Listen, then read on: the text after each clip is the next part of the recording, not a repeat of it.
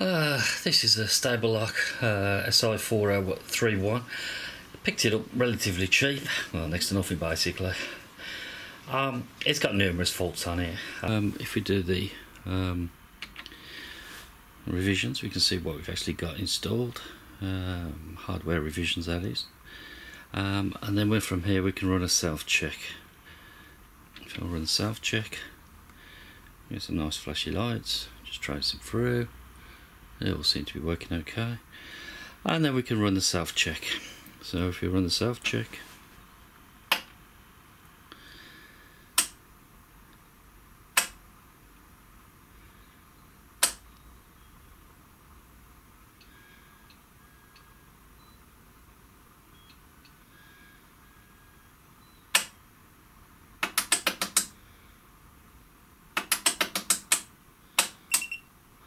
Okay, so we've got some failed. We've got the IF unit failed, the mod generator I failed, and the FM modulator failed.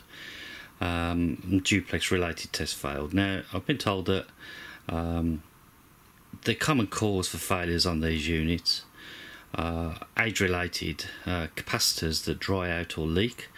Uh, they're 10 microfarad in value, they're surface mount values, and the recommended fix um, is basically to replace every single one of them. Um, it's a very long-winded job by the look of it, but it's something I'm going to have to do. I think um, you can't just visually look them because apparently they dry out internally. Um, if there's signs of any leakage, the PCB will be damaged. Uh, there are some other tests we can do. We can check the supply vault rails. Uh, we can check the rear 10 megahertz output, see if that's correct. Um, so I'll run through those tests. Uh, but one of the main issues I've got is when I'm testing, um, when I put a uh, say 100 meg uh, 0 dB signal through the RF attenuator block, um, I should read 50 dB output, but I'm not. Um, I'm sort of losing quite a dB, so it looks like one of the attenuator pads um, has gone funny. So I'm gonna I'm gonna have a look at fixing that first, um, and I'll just show you where that is. The RF attenuator block can be found in the base. Um, you're gonna have to remove the covers, and this is it basically. Uh, there's a 20 dB, a 30 dB, another 30 dB, and a 20 dB attenuator. Um, when the, the circuit is unenergized, uh, the signal path um, only goes through the 30 dB and the 20 dB attenuator, so whatever you put in, you're going to lose 50 dB. Um, I'm losing more than that, a hell of a lot more, and um, I'm thinking it's the 20 dB attenuator pad. Uh, this is the circuit diagram for the RF attenuator block. Um, effectively, what I'm doing, I'm shoving in, shoving in, I suppose is a word, 100 uh, meg at 0 dB. Uh, the path basically follows this route um, through these. So it's avoiding B5, it's avoiding B4, but then it flows through B3, which is a 30 dB attenuator, and then on to B2, which is a 20 dB attenuator. Um, then the output obviously is straight out where I'm measuring it on the spectrum analyzer.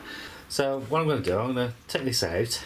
Um, there's only a couple of screws on the side here. Um, you've got to take this this cover off here. Um, this part removes quite easily.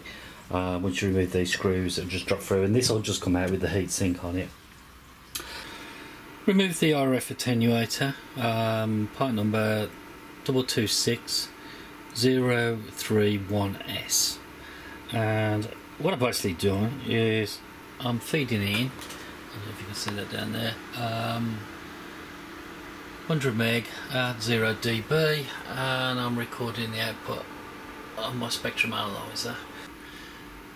If I uh, engage the switch contacts from relay uh, 2 and 3 which effectively removes the all the attenuation uh, in from the input to the output.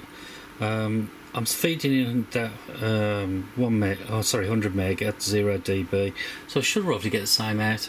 Um, and that's what I'm getting. So I am getting actually. Ignore the noise on there. I've got some really bad leads, but they're they're proving a point anyway. So going straight through, uh, based on the circuit diagram, there should be.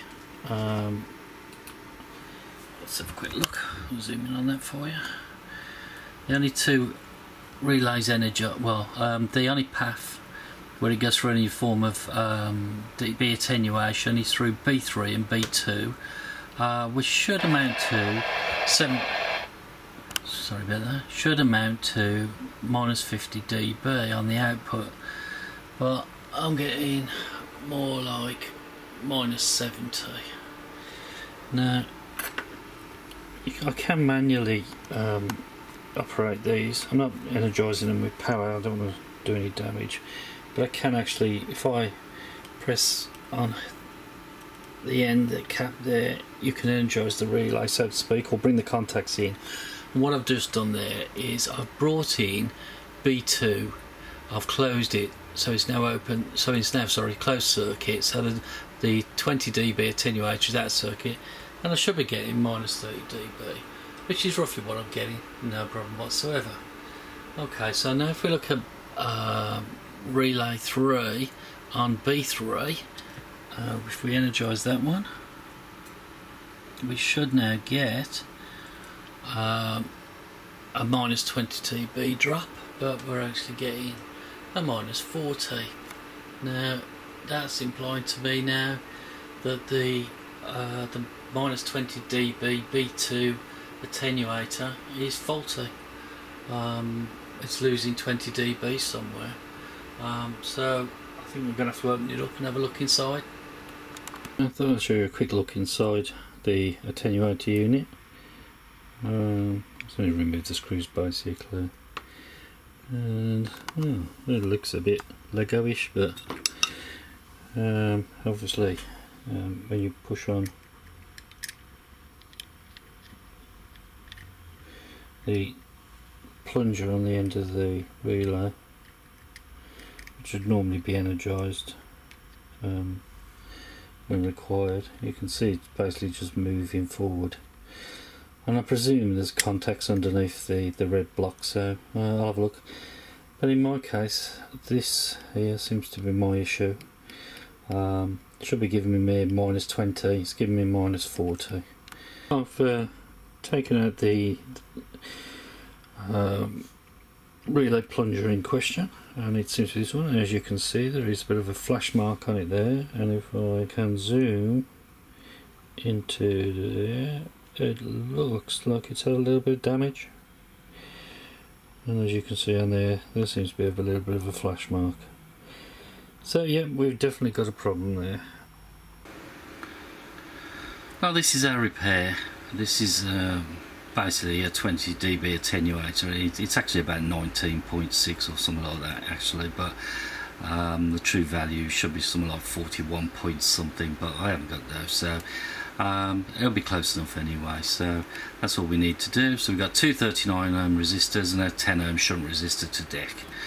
Um, the the original part, I cannot find anything that looks um, similar or anything that's cost effective anyway. So uh, this is the cheapest option. Um, it's obviously nowhere near the right power rating but for uh, my sort of testing it will do fine to be honest. So um, so what I've done I've, I've put it all back together. Um, and uh, as you can see it's here. It's all back together now. I'm feeding in um, basically what have we got there 100 uh, meg at 0 dB. Right, the path through the relays um, is as it should be, or the attenuator pads. Um, we've got roughly minus 50 dB. Um, I have got losses due to my leads. But if I now uh, engage S2 and S3, which will take out the attenuators, um, we should get as close to 0 dB as possible. Bear with me a second. There you go. Um, we're showing about minus 1.3, but that's probably losses in my leads to be honest. So yeah, it seems to be working okay now. The attenuator block seems to be fixed. Um, the uh, power rating of the resistors is probably slightly low, so I'll just have to be a little bit more cautious with that. But until something turns up on uh, eBay or somewhere, then I'm really a little bit stuck to be honest.